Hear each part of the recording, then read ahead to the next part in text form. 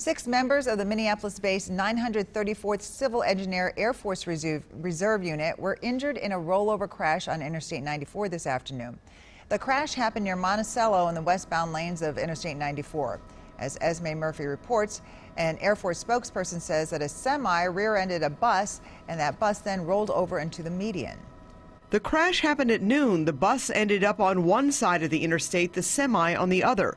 A witness who was just behind the bus said she did not notice what happened, but suddenly saw the bus roll over. It was definitely scary to see that bus roll and then kind of mind boggling to see all the military personnel come out of the bus because it was laying on its side. Oh my goodness. A passerby captured dramatic footage of several injured reservists lying down outside the bus.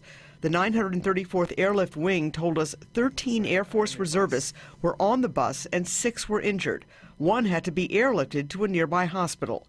News of the crash caused tense moments at the reservist base by Twin Cities International Airport. The second report I got was that there were no fatalities, so I'm glad to hear that. Uh, but uh, certainly, if there was a air ambulance called, uh, uh, that would kind of indicate a critical uh, injury, and so uh, our thoughts and prayers are certainly with that member. The reservists were headed to Fargo for training. The bus did not have seatbelts.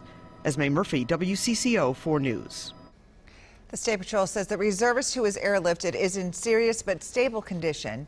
The others have non-life threatening injuries. The State Patrol says the initial investigation confirms that the semi did rear end the bus. Neither the State Patrol nor the Air Force is releasing the names or the conditions of the injured.